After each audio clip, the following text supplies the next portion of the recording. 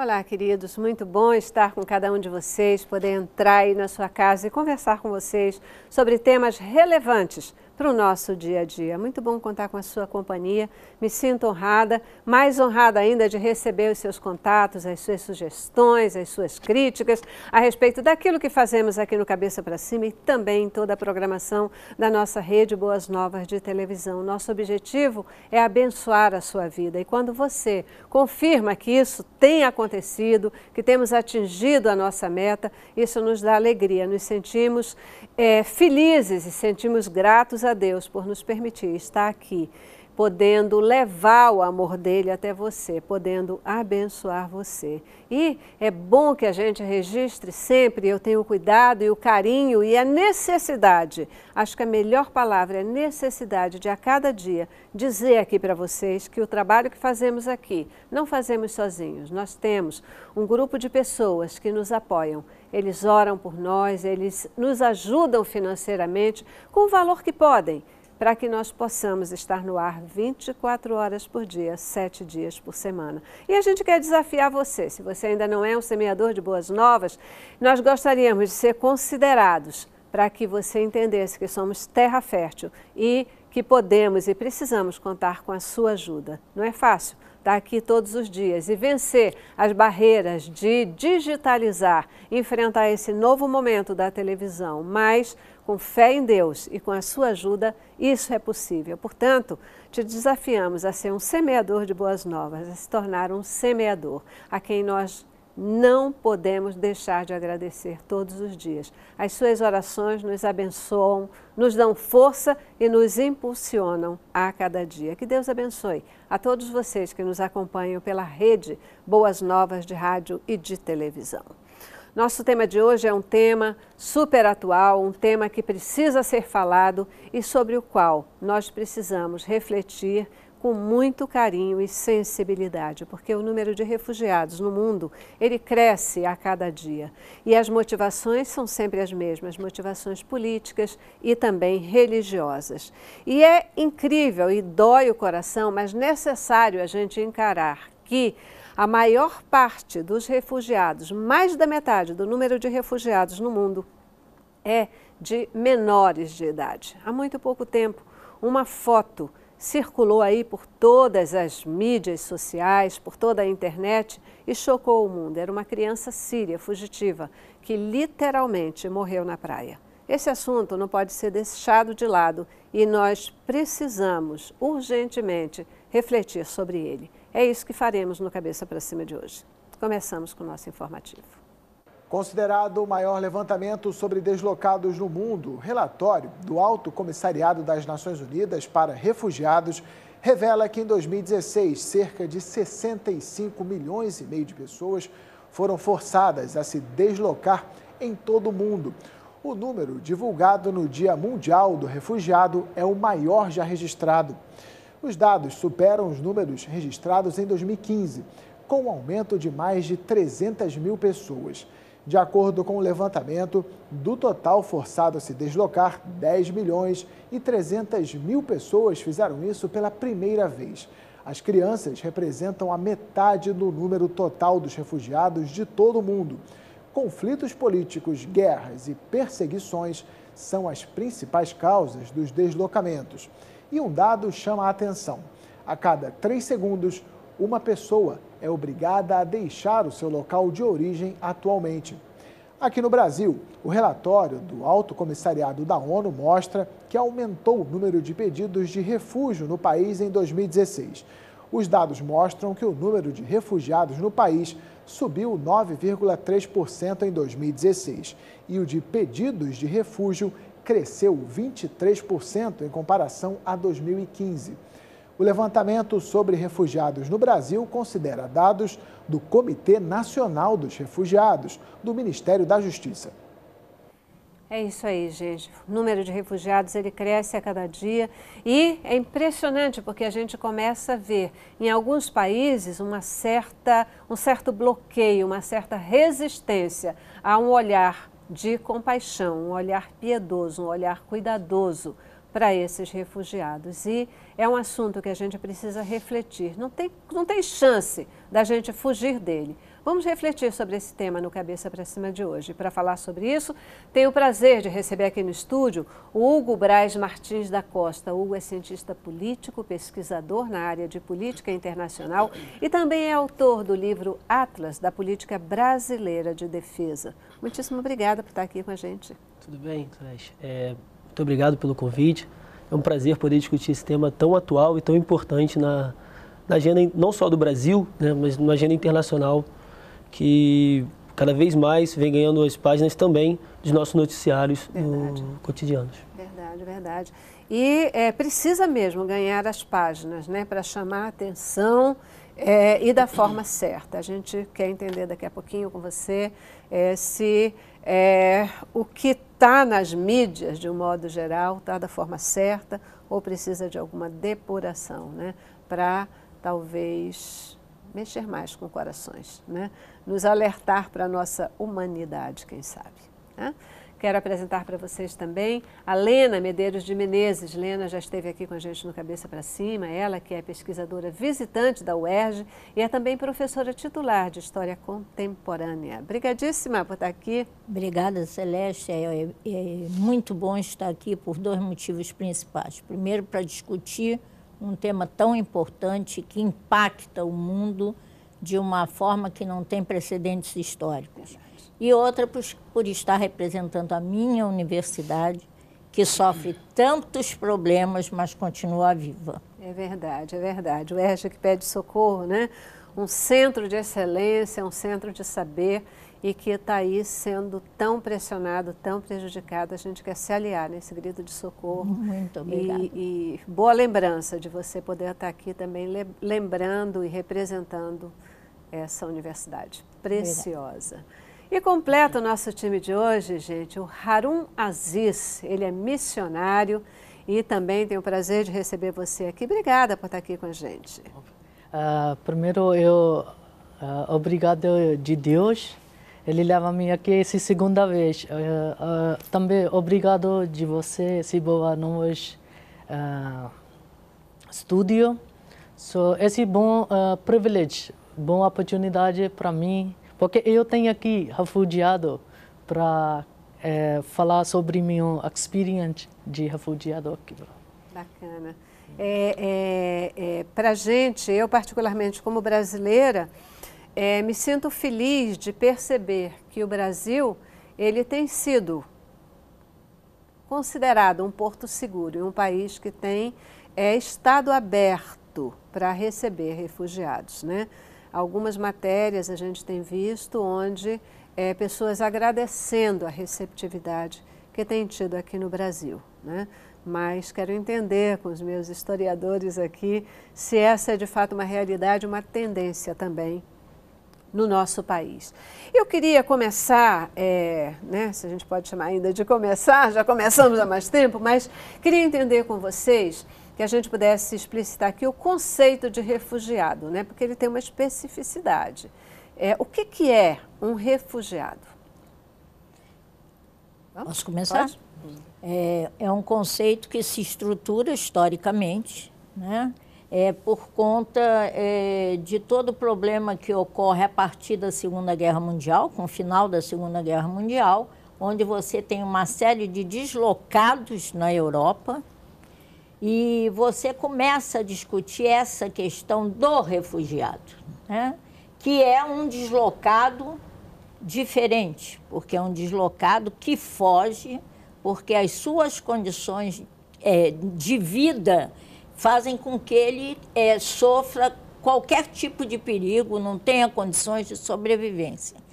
É, paulatinamente, esse conceito ele evolui e ele começa a estar diretamente relacionado à questão dos, dos direitos humanos. Isso se dá na Conferência de Cartagena, em 1984, é, algum tempo depois que a ONU estabelece um estatuto de refugiado em 51. Uhum. Né? Então, refugiado não é um simples imigrante. Ele não se desloca porque ele quer se deslocar. Ele se desloca porque ele precisa se deslocar, é pressionado a se deslocar, ou por questões políticas de guerra, a maior parte dos refugiados atuais são refugiados de guerra, por questões religiosas e também por questões ambientais. Uhum, uhum. Questões ambientais, né? Tem também, acontecido. Hoje também. já se fala em refugiados ambientais.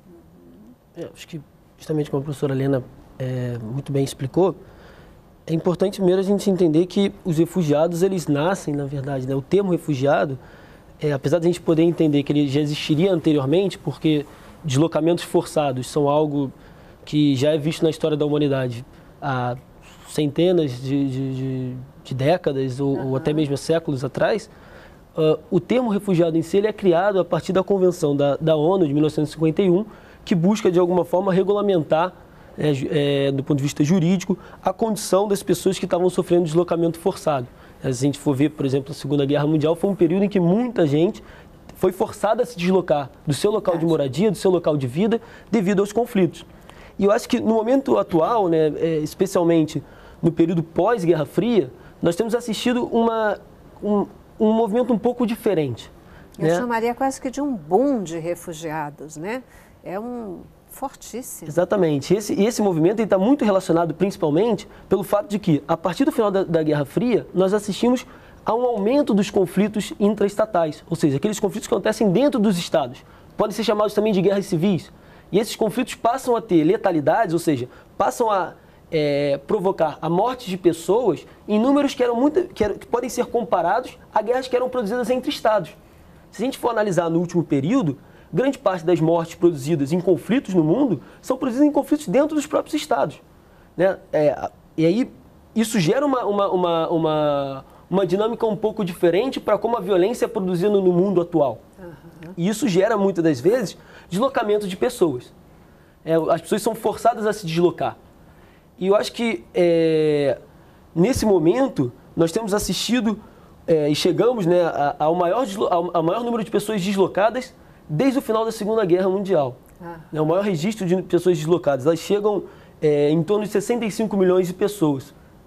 E isso já começa a mexer com todo mundo, né? Os países com diferentes olhares, diferentes receptividade para esse refugiado, esse que é praticamente forçado a sair do seu país, né?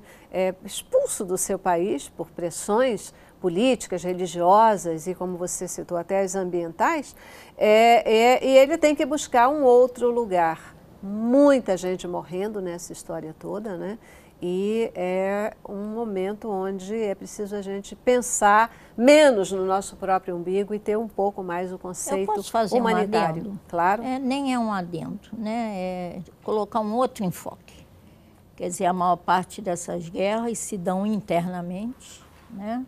Mas nós não podemos de deixar de ressaltar que, por vezes, elas são ah, incentivadas, quase sempre são incentivadas, de fora.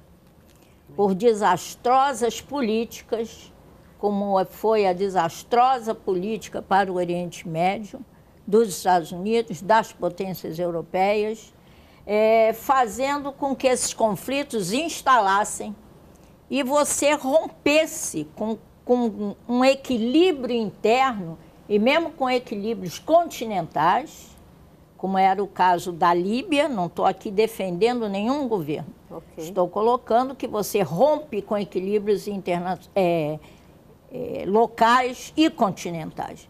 Quer dizer, a gente fala muito na guerra na Síria, mas nós também temos deslocamentos do centro africano que vão pelo corredor da Líbia. Verdade. Então, nós, eu estou colocando esse enfoque porque é importante saber que, também que externamente há responsáveis por esse estado de coisas e que agora não assumem as suas responsabilidades. E querem até dizer, não, aqui não é lugar de refugiado. Né? Com certeza. Até porque grande parte desses conflitos internos que se dão dentro dos países são em áreas de interesse geoestratégico muito grande. Né? A gente pode colocar o caso do Oriente Médio, é hoje um dos grandes responsáveis pela produção de petróleo do mundo.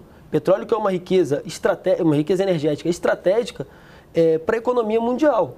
Então, é, muito bem como a professora realmente pontuou, esses conflitos se dão é, dentro dos estados, mas eles têm uma enorme interferência de atores externos, que podem atuar é, através de um financiamento de uma parte, através da cessão de armas para um dos, das partes em conflitos. Ou para as duas, Para as duas partes em conflitos. E muitas vezes não é só um ator que. um ator internacional ou um país que interfere nesses conflitos. Muitas vezes nós vemos, como é um tabuleiro geopolítico importante, nós vemos, por exemplo, no caso do conflito sírio, a Rússia de um lado e os Estados Unidos de outro.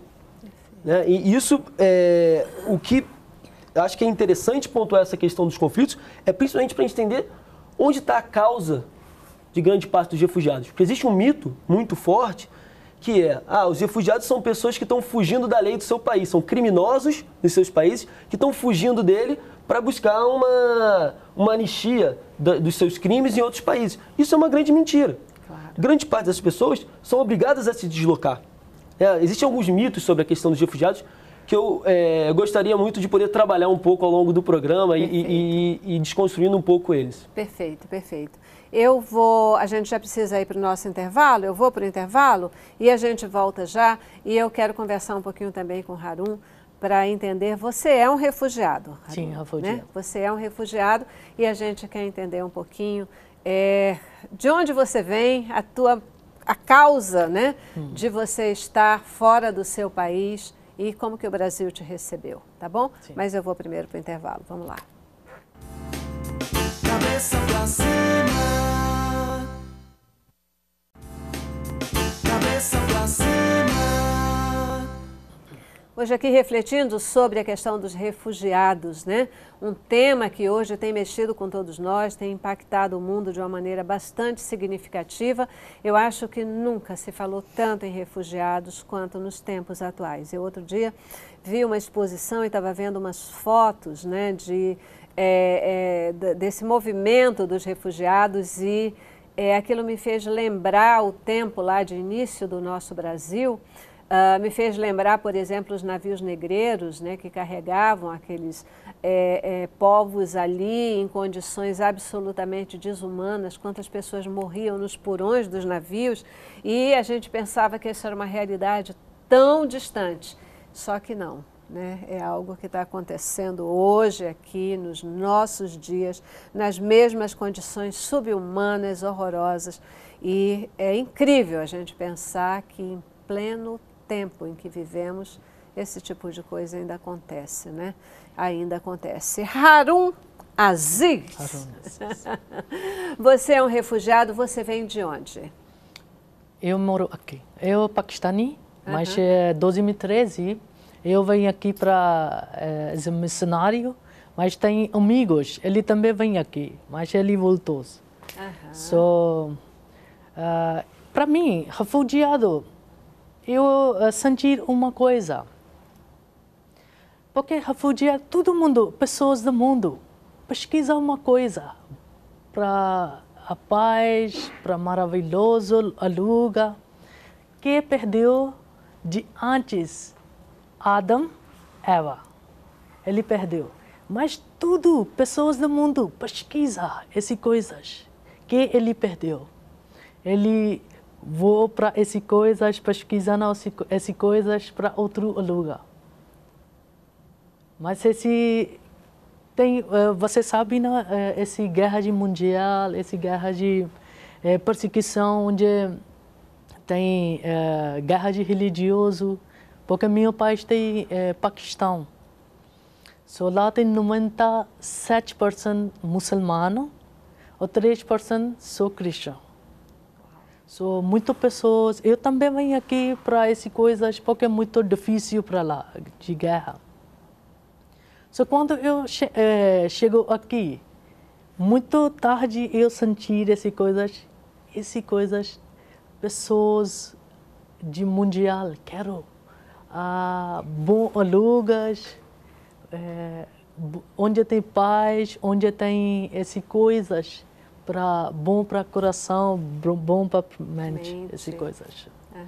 So, eu chego aqui, mas aqui tem também muito difícil, assim não é fácil. Porque Brasil é muito uh, sentir bom. Ele chama com todos. de é, onde tem perseguição, ele chama com pessoas, vem aqui, ele abriu na porta para de refugiado, mas bom, mas muitas coisas eu quero. É, tem tem planning, planning de refugiado. Ele tem é, porque aqui tem 23 milhões de pessoas sem trabalhar. Mas brasileiro também. Momento crítico do país, Sim. né? Um momento Só crítico. Ele é bom coisa que ele chamar com outros, mas ele também é ah, como é mais para ajudar para refugiado, como ele morou aqui. Meus amigos, ele vem aqui dois anos sem trabalhar mas depois voltou. Porque não consegue trabalho. Uhum. É realmente um momento complicado, um momento difícil né, é, é, do Brasil nessa, nesse sentido de apoio a refugiados, porque é, o próprio brasileiro está sem emprego. Né? E muita gente diz assim: ah, mas espera lá, vai dar emprego para refugiados em vez de dar emprego para o brasileiro, e começa a criar uma barreira, hum. talvez de dificuldades e uma barreira de rejeição a esse acolhimento a esse acolhimento. Né? No Paquistão, de onde ele vem, a, a, a, o maior motivo de a, fuga das pessoas é perseguição religiosa ou política? É, Lá, no seu país, a perseguição maior é política ou religiosa? Religioso. Religiosa. Religioso. Uhum. Por causa só 3%? Sim, muito forte esse coisas lá de muçulmano, muito furious esse uhum. coisa. Celeste, eu, eu posso pontuar três questões que o Harun colocou que me parecem importantes. Uma a questão das perseguições religiosas. Né? É, infelizmente, a história está cheia de exemplos de perseguições religiosas. Verdade. Quer dizer, quando a religião hum. deveria falar em paz, hum. em fraternidade, ela cria inimigos hum. e persegue inimigos. Isso é alguma coisa lamentável. A outra questão que ele coloca é a questão de você receber ou não esses refugiados. Quer dizer, nós, vimos, nós vivemos em um mundo muito complicado, porque você tem a ideia, você tem várias pessoas que são deslocadas dos países onde nasceram, mas cada vez mais você tem essa visão do outro e do combate ao outro que é tido como inimigo. E você vê, por exemplo, que o impacto da imigração é tão grande que você está começando a sacudir a própria União Europeia. Quer dizer, a questão dos refugiados estão no cerne de você passar a ter um nacionalismo que é xenófobo, né? E que você já questiona, por exemplo, os acordos de Schengen que permitiam a livre circulação na Europa. Né? E você vê a construção de muros por toda parte. Quer dizer, essa questão do outro, do combate ao outro, é, é lamentável. né? Quando você, na virada do século, falava até em multiculturalismo, que seria você aceitar o outro e fazer com que ele se integrasse. A terceira questão que ele colocou muito bem, que eu queria pontuar, quer dizer, hoje o Brasil vive uma crise de é, desemprego, óbvio. Econômica, né? com certeza. E vive uma crise econômica. Agora, falta o que ele está colocando, uma política. Não é só você receber o, o refugiado, mas você tem que ter uma política voltada para o refugiado, porque esse acolhimento implica em que ele tenha condição de sobrevivência. Perfeito. Então, nós sabemos que vários voltam e não é só agora, já acontecia. Uhum. É, há uma lentidão né, da política brasileira em resolver determinadas questões. É, costumam dizer os historiadores que a cronologia é uma excelente lição de história né? O Estatuto de Refugiado é de 51. O Brasil só adere em 60.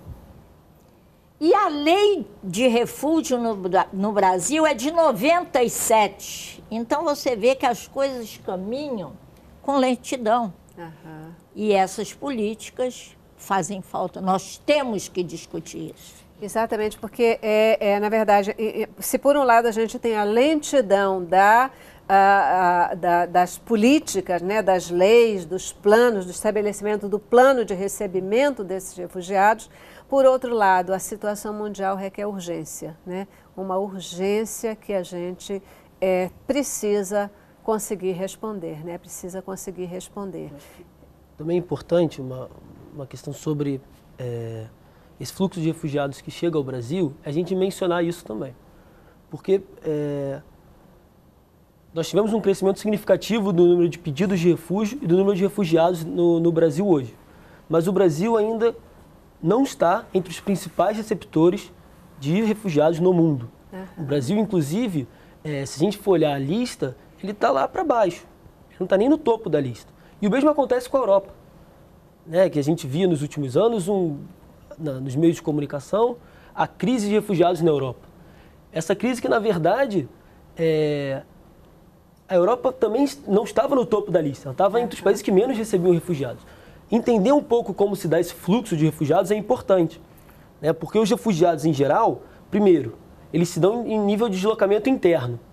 Ou seja, dentro do próprio país em que ele está, ele busca se deslocar de uma região onde o conflito está acontecendo para uma região mais segura que é o, é, o, é o, primeiro movimento natural.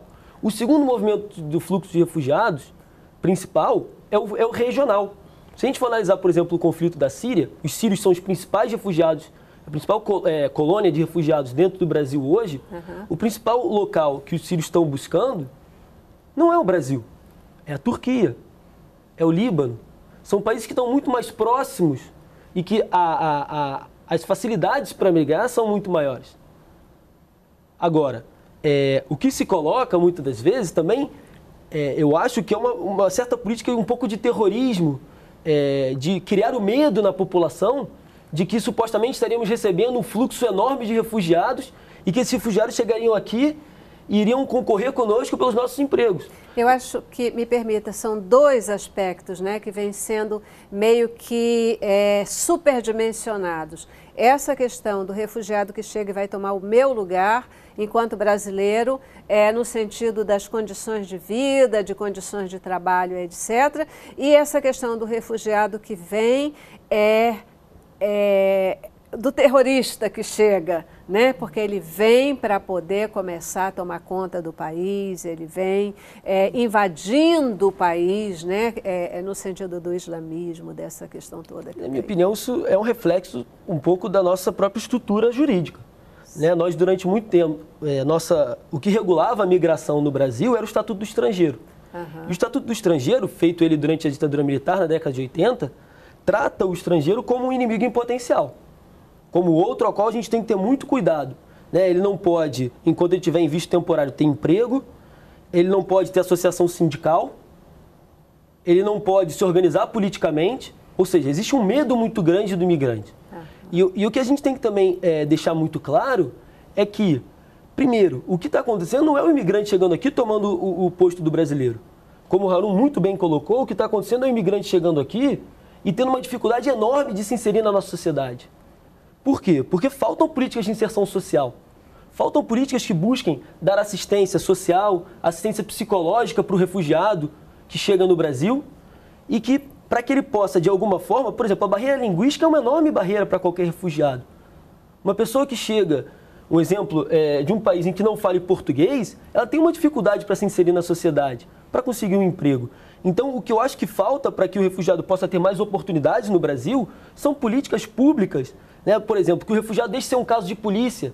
Isso é uma coisa importante. A nova lei de imigração mantém ainda a Polícia Federal como responsável por tratar os, o, o imigrante ele não trata com um órgão público civil, ele trata com um órgão policial. Ele continua sendo questão de polícia. E nós temos que dar a ele um tratamento como política pública, dar a ele oportunidade de se inserir. Assistência. Muitos deles têm capacidade, por exemplo, e a gente vê o que o Estado tem feito, é designar isso para o terceiro setor, para as ONGs. Né? Quem tem feito esse trabalho é a ONG. Né? Muitos deles têm possibilidade, por exemplo, de dar aulas de línguas de trabalhar na, na, é, dentro do país e, e, e, encontram muita dificuldade de se inserir. Celeste, você... Desculpa. Um, um dia eu estudo sobre Austrália, de refugiado, como ele é, faz esse programa de refugiado. Ele tem limite. Muito precisa de limite. Ele tem mais, é, é, mais três, é, três mil refugiados nós recebeu esses dois anos. Uhum. Mas ele, quando tem é, mais alto, ele manda para Nova Holanda. Para outro, porque ele mais dá com eles para tudo coisas, é, accommodate, para ajudar para ele esse refugiado. Esse é bom planning, esse é bom. Mas aqui, é, precisando para...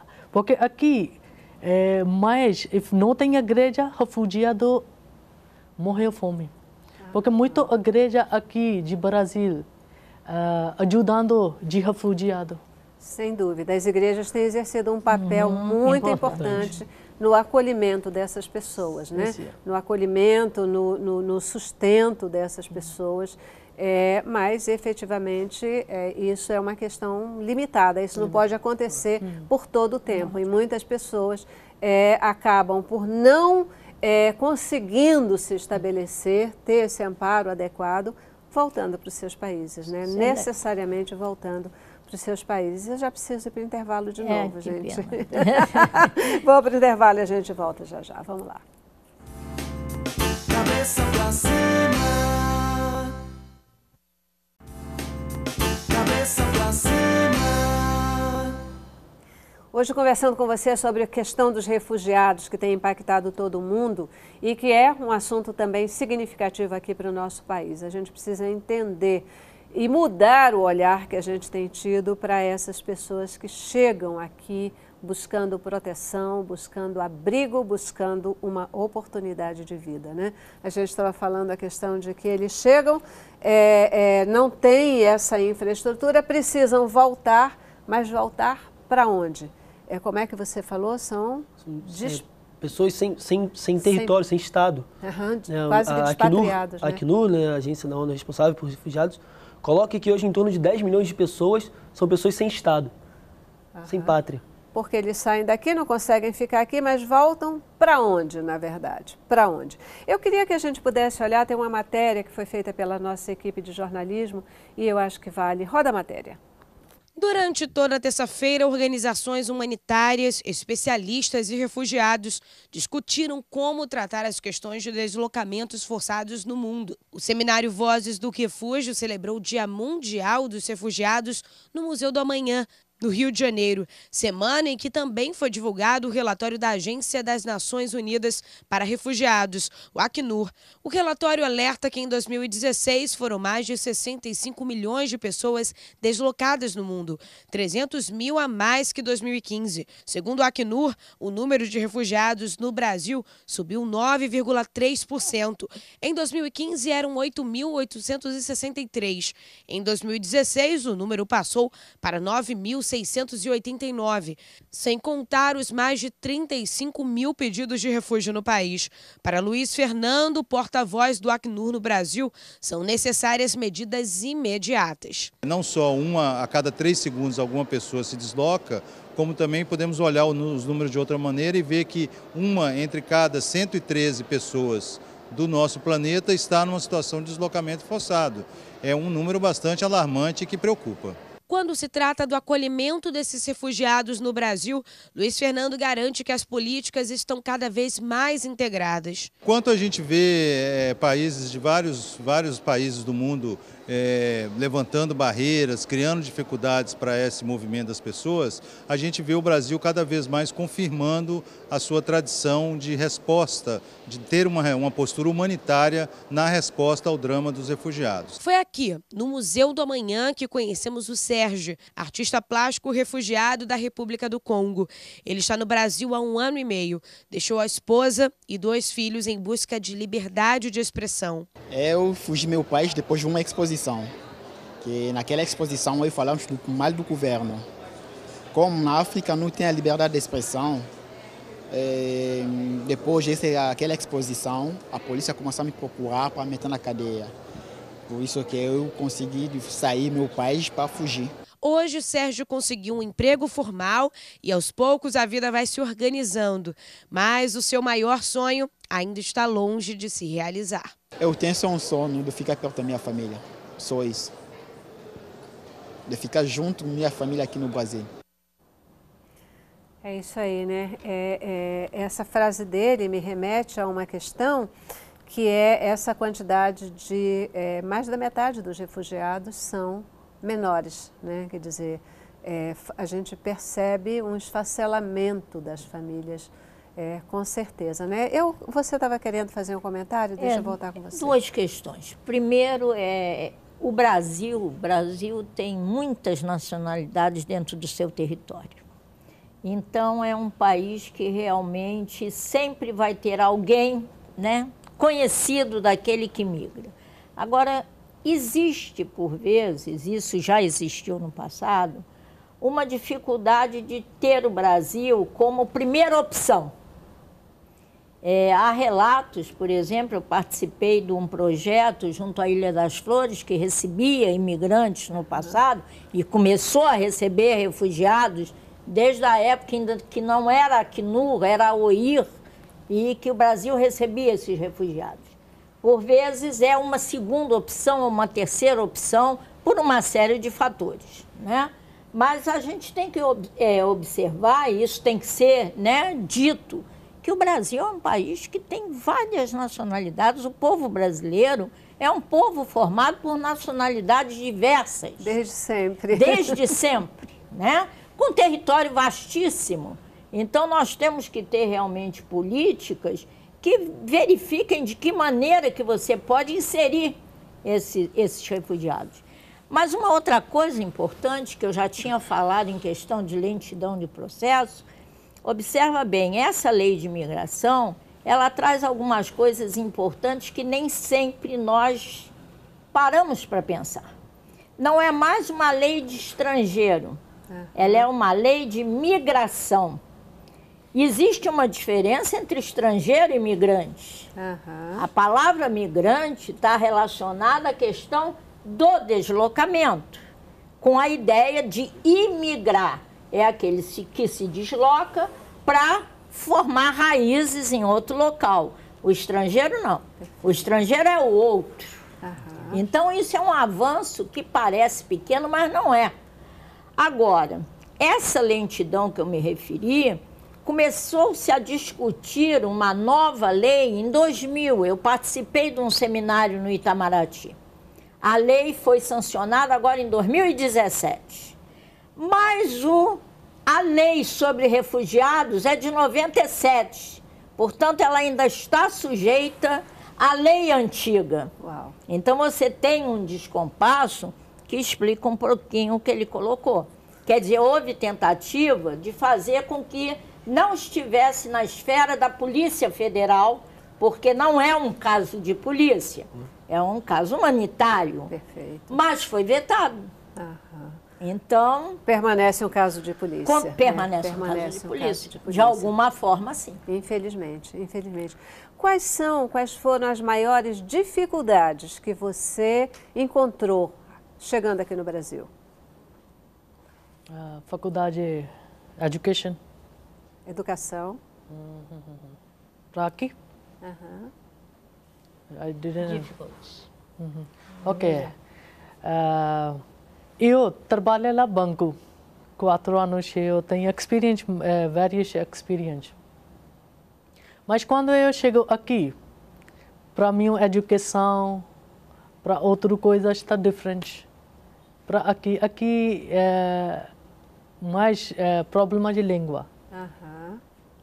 Eu tenho é, muito experiência para marketing, telemarketing, para é, seguro de vida marketing, essas coisas, mas não é, Está difícil para eh, receber trabalho aqui. São trabalhos que requerem uma comunicação fluida, né? Hum. fluente. E, Sim. na verdade, quando você tem dificuldade com a língua, é, aí começa a complicar o exercício Sim, esse, dessa, esse, esse, dessa atividade. Mas está né? bom aqui, bom, pessoas bom, uh, ele sempre ajuda para a língua, para é, a igreja na, é, ajuda para nós, esse bom. Uhum. meus amigos, ele é siriano, ele é muçulmano, mas é, ele mora na Tijuca. So, um dia eu visitando ele, ele falou que tem a igreja ajuda para nós. Esse é boa coisa. Esse a é, mudança na mente. Uhum. Vou falar e... em mudança na mente, eu posso colocar uma questão? Por favor. É, eu achei é, excelente ele colocar isso, porque nós temos que olhar diferente. Aquele que chega não é um outro, é um ser humano que está passando por uma série de dificuldades, que ele está precisando de um país para viver em paz e poder sobreviver. Só que existe um medo que está agraçando de uma maneira e que toma formas de islamofobia, hum. né? E formas que você observa que no momento em que você tem uma crise como essa, a tendência que você tem é de evitar que ele entre, ou se ele entra, você vê-lo como uma ameaça. Lógico que há problemas. O mundo é um mundo inseguro. Hum. É um mundo inseguro por uma série de questões que não dá tempo nem de analisar aqui. Mas você não pode ver cada um como uma ameaça. Ou Com nós certeza. vamos estar tá, tá num mundo completamente esquizofrênico e paranoico. É nós não queremos que isso aconteça no Brasil. Com certeza. E como é que você vê, por exemplo, essa influência? Porque a gente vê alguns países, Estados Unidos, aí numa tendência, né, é, influenciada talvez pela postura do próprio presidente, para se fechar para a imigração, né, construção de muros, a gente voltar a falar em construção de muros, que loucura. É, é, é, a gente teve a França também, que tem sofrido essas questões. A gente vê reações né, é, de diferentes países Inglaterra, França, etc., meio que se fechando para a questão é, dos, dos refugiados. É, como que você vê essa tendência, essa questão mesmo mundial, por um lado, o número de refugiados aumentando, as pressões políticas e religiosas, e por outra, os países ainda com uma mentalidade distorcida e se fechando, olhando para esse refugiado como outro e não como um humano que precisa de acolhimento? Eu acho isso bastante curioso, né?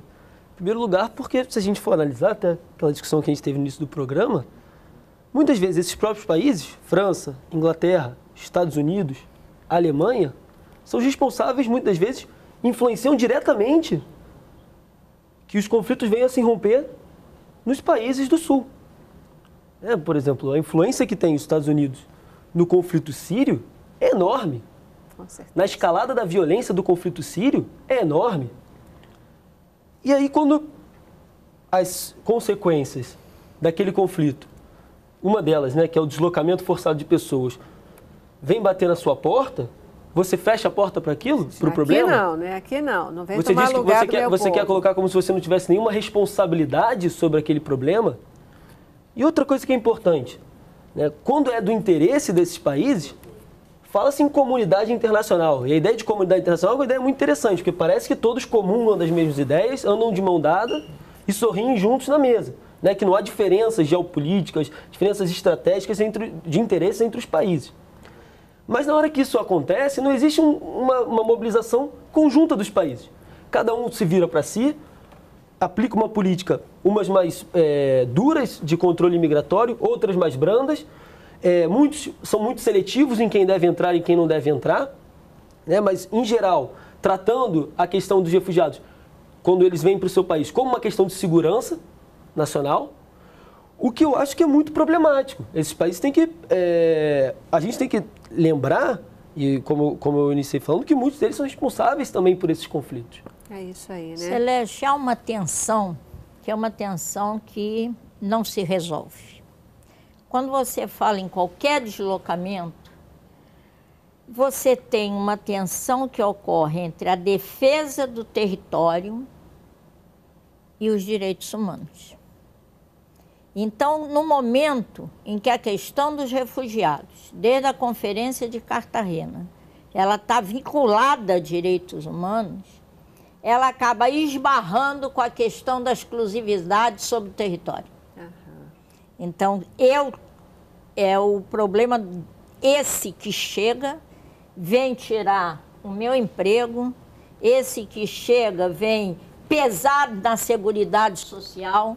Então é uma tensão que a gente não vê muita solução para isso.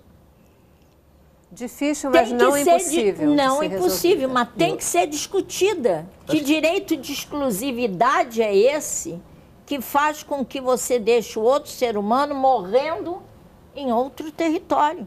Eu acho que cresce também, uma coisa que é importante, que a professora está falando, é que dentro desses países crescem também os setores de extrema-direita. Né? Setores que nesses momentos de crise econômica, de crise social, apresentam medidas é, de caráter ultranacionalista. ultranacionalista, muitas vezes xenófoba, e que vão é, trabalhar, por exemplo, países que passaram por crises muito, muito é, profundas nos últimos anos. O exemplo é a Grécia, que é um país que, é, se a gente for analisar o corredor do fluxo migratório que chega à Europa, muitos deles têm que passar pela Grécia para poder adentrar na Europa. É uma das portas da União Europeia, junto com a Turquia. E a gente for pensar, muitas pessoas vão para a Grécia. E aí os setores de extrema-direita nesses países buscam dialogar com aquele trabalhador que, por causa da crise econômica do país, perdeu o seu emprego, dizendo o seguinte, olha, aquele refugiado que está vindo para cá vai querer roubar seu emprego. Sendo que, na verdade, existe uma incapacidade enorme do Estado de lidar com a crise econômica. E de garantir emprego para a população, né? de gerar riqueza para o seu próprio país. E aí começa com essa atitude meio é, exclusivista e etc. Né? Eu já preciso de novo para o meu último intervalo. Vou para o intervalo e a gente volta e vamos falar um pouquinho nesse retorno de como ajudar, como superar, né? o que, é que a gente pode, é, como fazer para a gente demonstrar mais amor e garantir um maior acolhimento a pessoas que chegam refugiadas em nosso país. Tá bom? Vamos lá. Cabeça pra cima. Cabeça pra cima.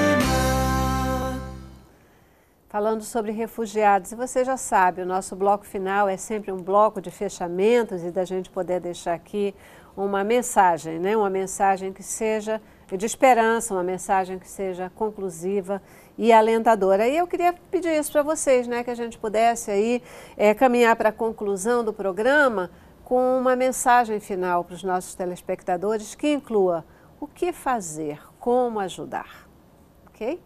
É, começo com você. Ok. Esse, para mim, essa é a minha opinião. Aqui, pessoas ajudando. Mas é, ele não sentir para sobre refugiado, ele não sabe. Uhum. Mas é, esse é, para esse nesse dia ontem passou para refugiado.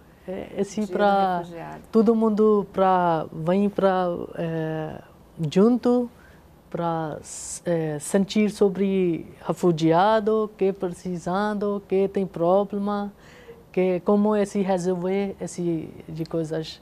Esse mais igreja, tudo Brasil, pessoas para vir para junto para sobre. E que não fique só num dia, né? Dia 20 de junho, dia do refugiado, que esse dia sirva só para chamar a atenção para a necessidade de políticas efetivas de ajuda. Né? Isso é importante. Que você consiga ficar bem no nosso país e consiga se estabelecer e se sentir acolhido aqui, sem necessidade de procurar outro lugar, tá bom, Rassum? Seja bem-vindo ao Brasil. Obrigado. Ok? Lena. Olha, Celeste, é, o, o que vocês estão possibilitando com esse programa demonstra que o primeiro passo é discutir é discutir e para que o Brasil não repita processos que estão sendo vivendo, vividos pelo mundo. Perfeito. Né? Processos em que você tem é, políticas cada vez mais xenófobas ou de tendência a se chegar a isso. Então, discutir, esclarecer é importantíssimo. Da mesma maneira que é importante nós sempre estamos aqui colocando a necessidade de políticas públicas que possam estar voltadas para essa questão, que é crucial. É, até um determinado momento, eu sou professora de Relações Internacionais também, a questão migratória ou a questão do refúgio não fazia parte das preocupações das relações internacionais. Uhum. Hoje estão tendo centralidade. Necessariamente. Necessariamente. Né? Mas não é só a universidade que tem que discutir, são programas como o, o teu que tem que colocar essa discussão e dizer para todo, todo mundo que puder ouvir que o Brasil não pode repetir a tragédia que está anunciada aí, que a gente vê todo dia, inclusive com tráfico de pessoas desesperadas para conseguir um lugar seguro para viver. É verdade, mudança de mentalidade, né? transformação de mente, necessidade urgente com relação a essa questão dos refugiados. Né? Obrigadíssima pela presença de vocês. Hugo. É, gostaria mais uma vez de agradecer pela presença. Eu acho que, como a professora falou, a oportunidade de estar conversando sobre um tema tão atual, né? não só dentro da academia, dentro das universidades, mas num debate público é, através do, dos meios de comunicação. E eu acho que são duas coisas importantes que devem ser deixadas é, de mensagem. A primeira é que nós devemos tentar, de alguma forma, reduzir as grandes causas desse deslocamento forçado. Ou seja, buscarmos soluções para os conflitos que não sejam aquelas que busquem escalar cada vez mais o conflito, torná-lo cada vez mais violento, mas sim que busque o diálogo, que busque a negociação, a conciliação entre as partes, que as partes possam se entender e coabitar dentro do mesmo país de uma forma em que elas não precisam não precisem vir a se, a se degladiar, a se destruir. Em que para um existir, não precisa é, necessariamente que o outro deixe de existir. E o segundo ponto, eu acho que vem justamente nisso que foi colocado, que a gente buscar construir formas de que as pessoas que sofrem deslocamento forçado e que cheguem aos países, principalmente ao Brasil, encontrem aqui é, possibilidades de inserção social. Né? Estou lembrando agora de um, de um cartaz que eu vi, de um protesto contra o, o presidente dos Estados Unidos, Donald Trump, que dizia que se construam menos muros e mais pontes. É disso que eu acho que o mundo precisa. É verdade, é isso mesmo. E, nesse sentido, cada um de nós pode fazer diferença. Cada um de nós pode ser um agente acolhedor e não um agente afastador. Né? E o nosso movimento, enquanto indivíduos, vai pressionar, sim, o poder público, o, os nossos políticos, a, a, o nosso, a nossa sociedade, o nosso sistema, a criar e desenvolver uma estrutura e leis melhores, com certeza. Muitíssimo obrigada pela presença de vocês. E hoje a gente termina o Cabeça para Cima de uma forma diferente. Nós vamos terminar mostrando para vocês algumas fotos que nos remetem à dura realidade dos refugiados no mundo afora. Paz. Todo corpo será luz, toda a terra se iluminará com seus povos e os seus dons toda vida que luz, toda guerra então cessará. A visão mundial, coração, World Vision, na visão mundial.